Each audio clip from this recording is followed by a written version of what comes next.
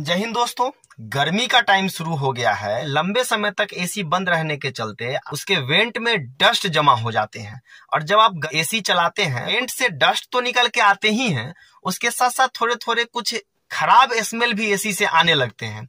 उनको साफ़ करने के लिए एसी वेंट क्लीनर कहिए, कंगारू कंपनी का मंगाया था। और आप देखिए कि मैं यहाँ पे यूज़ भी कर रहा था। इस सब में मैंने डाल दिया है ऑलरेडी इस दोनों में भी डाल दिया है। तब मुझे याद आया कि इसका वीडियो तो बनाया जा सकता है ताकि बाकी लोगों को भी बताया जा सके। तो आप देखिए, इस वेंट में मैंने अभी तक नहीं डाला है। बाकी सारे एक एक वेंट मैं डालूँगा और रहा क्वालिटी का बात भी मैं यहाँ पे आप लोगों को बताता चलूँ तो तांबे का दे करके रखा और वो भी बहुत ही अच्छा क्वालिटी में। इसके पाइप की भी क्वालिटी अच्छी है। मैं पिछले साल दूसरे कंपनी का यूज़ किया था। स्प्रे की क्वांटिटी मुझे थोड़ी सी कम लग रही है। चार सौ लिख के रखा इन्होंने, लेकिन मुझे इस पे थोड़ा सा डाउट हो रहा है। लेकिन ठीक है, चलिए जो भी है, इसलिए मैंने दो बोतल्स मंगा लिए थे ऑनलाइन ही। अब देखिए कि इसको कैसे यूज़ करते हैं। कार को पहले स्टार्ट करना है और एक दो मिनट तक एयर वेंट्स के, इसके नॉब को फोर पे रख देना है, पीछे वाले को भी तीन पे रख करके एक दो मिनट तक चला के छोड़ देना है। उसके बाद गाड़ी आराम से बंद कीजिए और ये जो है, इसको पूरा अंदर तक एकदम डालिए। अगर आप देख सकते हैं यहाँ पे तो देखिएगा कि इवेंट के अंदर जो है ना थोड़ा थोड़ा डस्ट एकदम आया हुआ है।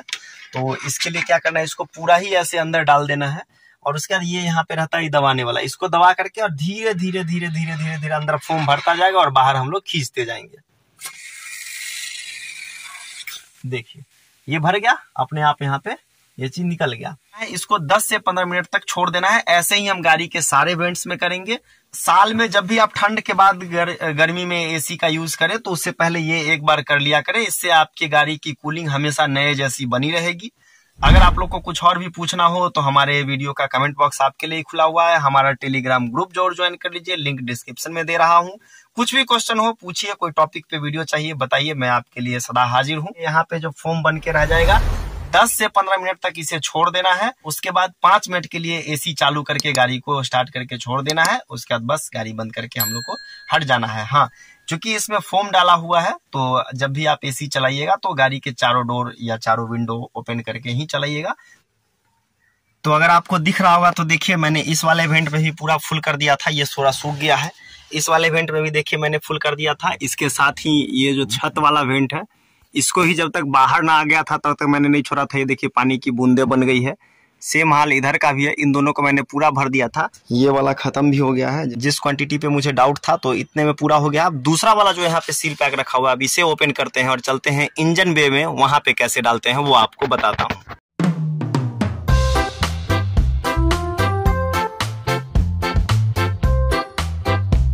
देखिए ये पूरा हो गया। इसके बाद इस पर ये सील लगा हुआ रहता है। आप इसे ऐसे तोड़ के हटा दें।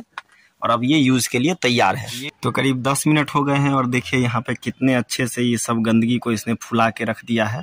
अब इसे कपड़े से मुझे पोछ लेना है सारे इवेंट में ही।